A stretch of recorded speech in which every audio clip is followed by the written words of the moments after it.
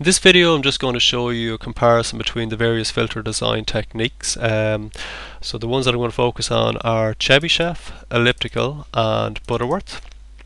Now this video is a follow-on from an earlier video that I did in which I showed how to use the Butterworth filter design function to filter out noise from a signal. and I, am using the same script as I used for that um, video. So that's why I'm starting off at line number 104 and the script is available from this uh, website here. But just uh, to remind you um, how the Butterworth filter design function works um, it's called butter and it takes in um, three parameters. The first parameter specifies the filter order, the second parameter specifies the cutoff frequency, and the third parameter specifies whether it's a low pass filter, a high pass filter, a band pass filter, or a stop band filter. So one of those four different filter types can be designed using this function. And each of the filter design functions will return a set of B and A coefficients. Um, so I've named my B and A coefficients appropriately. B butter, A butter in this case, and B chebby, A chebby in this case. And down below here, this is uh, an implementation of the Chebyshev uh, filter design function. And it's got similar parameters to Butterworth, except it's got one additional one. But the first parameter specifies the filter order, the second parameter specifies what's known as the passband ripple. And I'll show you a few plots to explain what that passband ripple is. And the last parameter here is the cutoff frequency, which is the same as above for the butter. And I'm also specifying low pass. Then down here, I'm creating a, or I'm designing a filter using the elliptical filter design function. Uh, its order is 4. Its passband ripple is also 0.5, the same as Chebyshev. But it's got an additional parameter that's referred to as the stop band attenuation and I'm using the same cutoff frequency in this case so all three filters are basically trying to achieve the same thing uh, and they all return a set of B and A coefficients. Um, now after getting the B and A coefficients from the filter design functions I am then using the freqz function in MATLAB which will determine the frequency response of the filter given a set of B and A coefficients. So I'm storing those results in H butter, H chebby and H ellip. Now the frequency response tells you how the system will behave in both magnitude and phase. Um, and down below here I am plotting uh, the magnitude response only, so I'm not looking at the phase response. Um, so in each case I am plotting uh, the magnitudes of each of the filters. Okay, so I'm just plotting them in the different colors. So red for the Chebyshev and green for the elliptical. And I'm using a normalized frequency axis. Um, in each case just so we can compare them easily. And this last part is just uh, labeling the axis and applying a legend.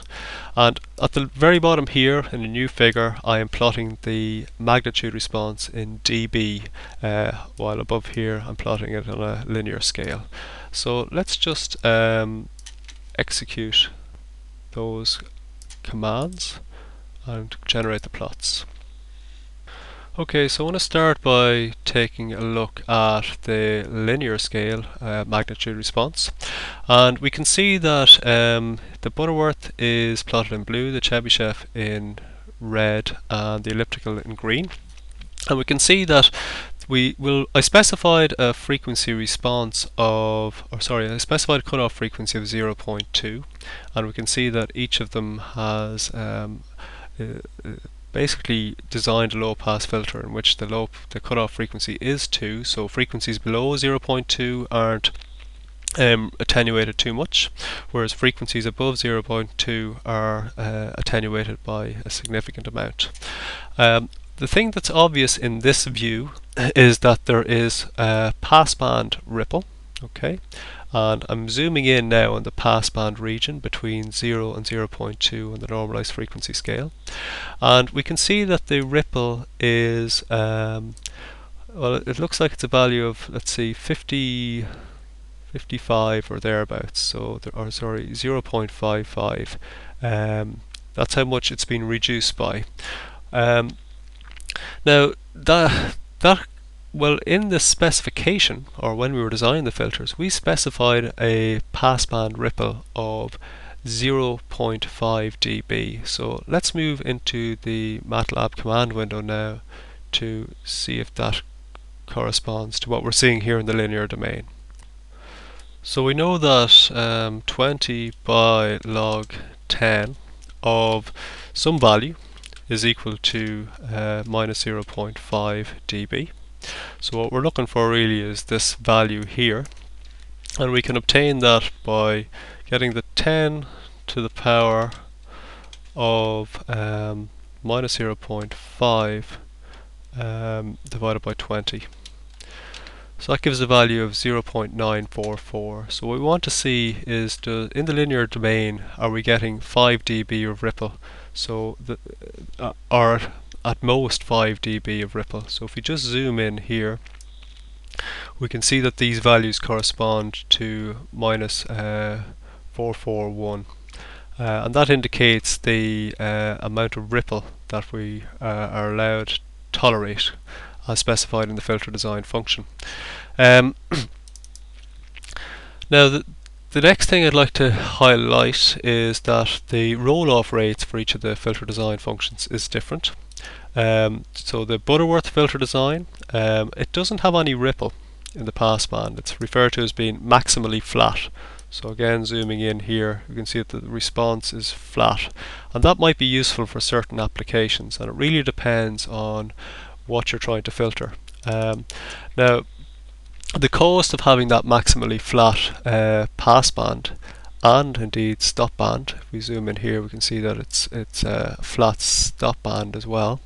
Um, but there is a cost, and the cost is that the roll-off rate for a Butterworth filter is slower than both the Chebyshev and elliptical design uh, techniques.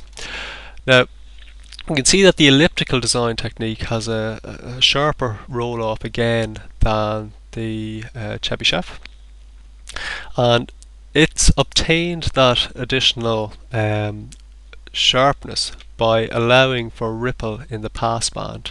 Uh, now we can see that there is a ripple there in the passband, okay, and it's uh, the amount of ripple is 0.01 which corresponds to uh, 40 dB attenuation. Okay. Now, just to verify those values, let's take a look at the uh, dB scale.